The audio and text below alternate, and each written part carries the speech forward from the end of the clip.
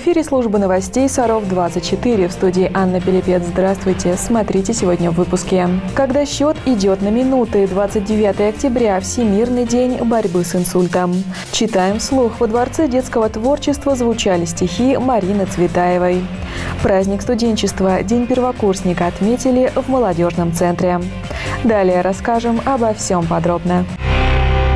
Рост заболеваемости коронавирусом и гриппом в регионе ожидает в декабре, сообщила замглавы регионального управления Роспотребнадзора Наталья Садыкова. Предыдущую волну коронавируса в сентябре регион пережил достойно, считают ведомстве. Пиковые значения не превышали 2000 заболевших в сутки. Регион справляется, значит коллективный иммунитет справляется, заключила Садыкова. По ее словам, сейчас интерес к вакцинации снизился. Это наблюдается каждый раз, когда идет спад заболеваемости. Но это нелогично. Мы, наоборот, должны готовиться к очередному подъему, который происходит каждые 2-3 месяца. Стоит позаботиться о себе и сделать прививку. Напомним, в КБ-50 возобновили вакцинацию взрослого населения против гриппа. Горожане могут привиться препаратом Совигрипп.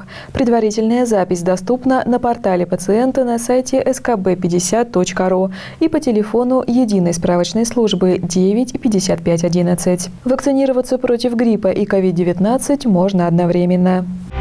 Ежегодно 29 октября отмечают Всемирный день борьбы с инсультом, который учредили в 2006 году.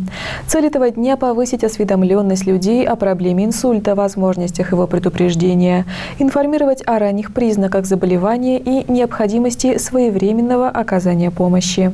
Инсульт – это нарушение кровообращения в головном мозге, которое вызывает закупорка или разрыв сосудов. Инсульт приводит к параличу конечности, нарушению речи, проблемам с памятью и инвалидности. Смертность от него одна из самых высоких в мире. На ее долю приходится 175 смертей на каждые 100 тысяч человек. Мужчин чаще встречается и мужчин более молодого возраста, чем женщины. Женщины более пожилые.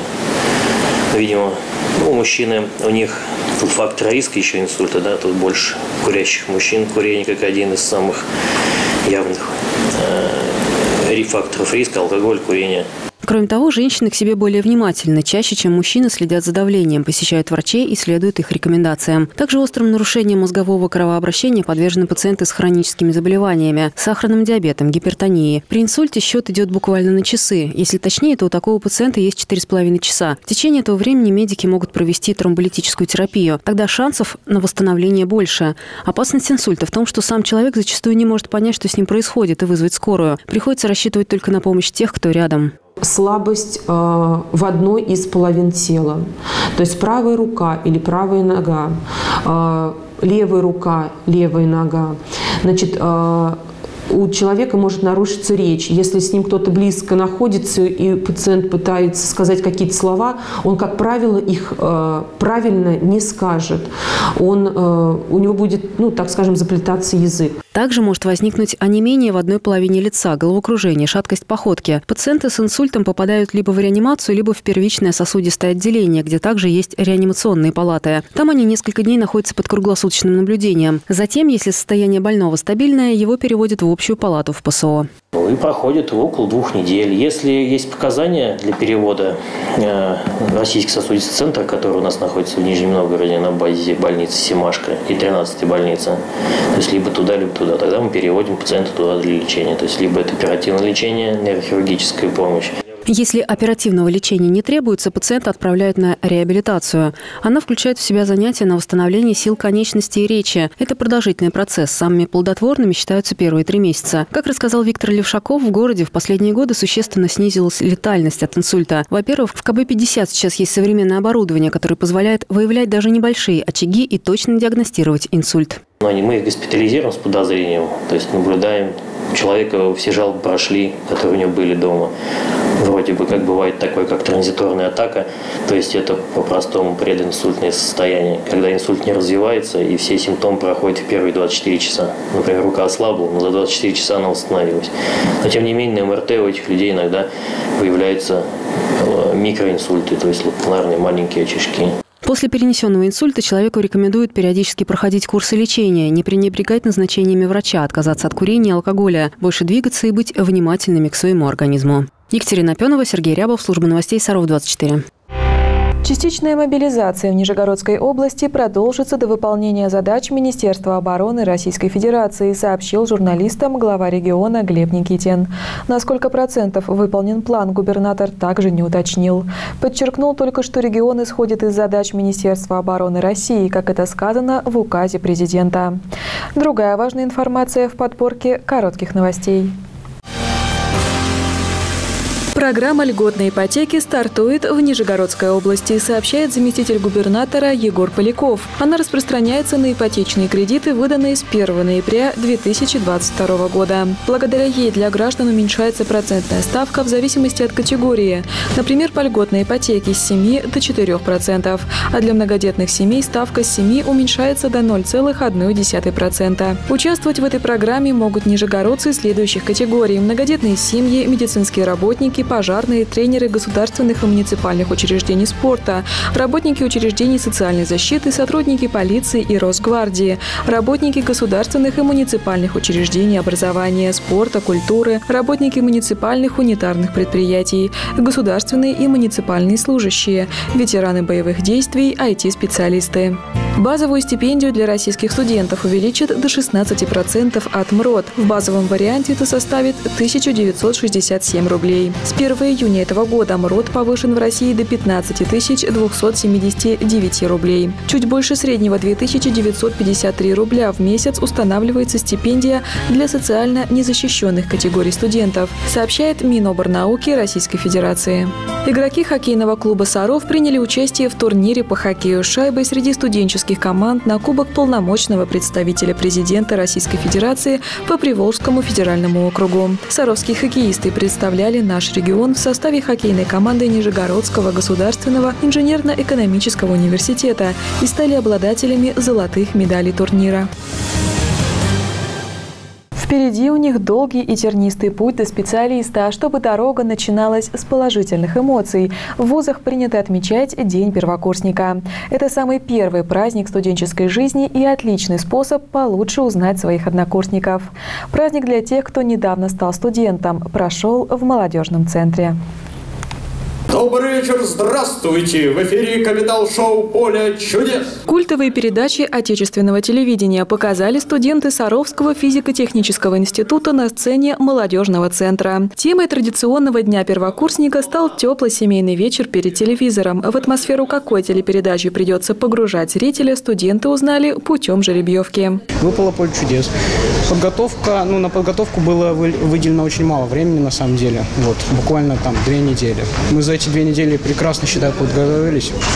Сделали барабан, грим всем, костюмы нужные достали. То есть я считаю, что все прошло прекрасно. На сцене показали фрагменты как новых передач «Импровизация» или «Мужское-женское», так и тех, что не сходят с экранов долгие годы. Например, «Жить здорово», «Модный приговор» или «Давай поженимся». Имеет 8 кредитов и 2 ипотеки. Наивно считает, что будущая невеста поможет ему расплатиться за всем этим безобразием. Увлекается домино, баней, рыбалкой. Короче говоря, типичный автомеханик. День первокурсника – первый этап битвы групп. По итогам выступлений каждая команда получила свои баллы. До Нового года проведут еще несколько этапов. По их итогам определят победителя, который отправится в Москву в рамках Всероссийского дня студенчества, где представится РФТИ в финале со всеми остальными филиалами МИФИ. Помимо искрометных шуток, со сцены звучали также теплые слова и наставления первокурсникам. Заполняйте свое портфолио получайте стипендии, занимайте активную гражданскую позицию, помогайте тем, кто в этой помощи нуждается, чтобы дать повод гордиться вами, нам вашим учителям и вашим родителям. Бытует мнение, что стать настоящим студентом можно только после Дня первокурсника. Первогодки успешно прошли студенческое крещение. Впереди у них непростое время первых экзаменов и зачетов. Самое запоминающее, наверное, были первые знакомства с группой. Это непередаваемые эмоции, потому что ты видишь этих людей первый раз, а тебе с ними учиться на протяжении четырех лет. И это знакомство было просто изумительным. Я ходил на настольные игры, вот, я выступаю, у меня практически главная роль. Да. Планирую куда-то записаться и в ОСО попасть куда-то, летом поехать э, в стройотряд. На празднике первокурсникам по итогам ежегодных онлайн-курсов «Технологическая история атомной отрасли» вручили сертификаты за знание истории отечественной атомной отрасли.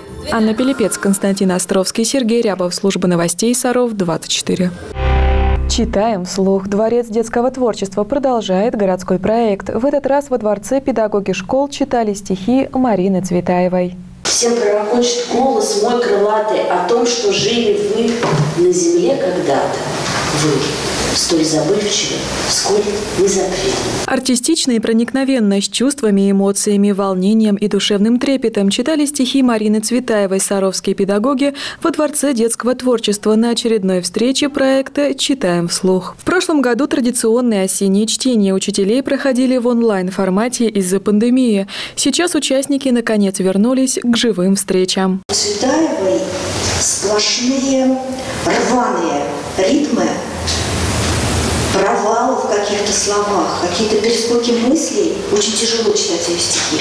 Я надеюсь, что вам это удастся сегодня сделать, потому что, во-первых, вы прекрасно все это умеете делать, вы замечательные педагоги. А во-вторых, я постаралась подобрать те стихи, которые ну, как-то ложатся. Темы были самые разные – любовь, война, разлука, потеря родины, расставание с идеалами. Во вступлении коснулись и биографии поэтессы, поскольку весь ее бурный и тернистый жизненный путь был впоследствии неразрывно связан с творчеством. Кто-то читает на импровизированной сцене впервые, однако многие учителя не раз читали вслух сами, а также готовили к участию своих учеников. Чаще всего я с детьми хожу. Это уже несколько на протяжении многих лет идет эта акция. Дети с удовольствием, особенно в среднем звене у нас ходят читать.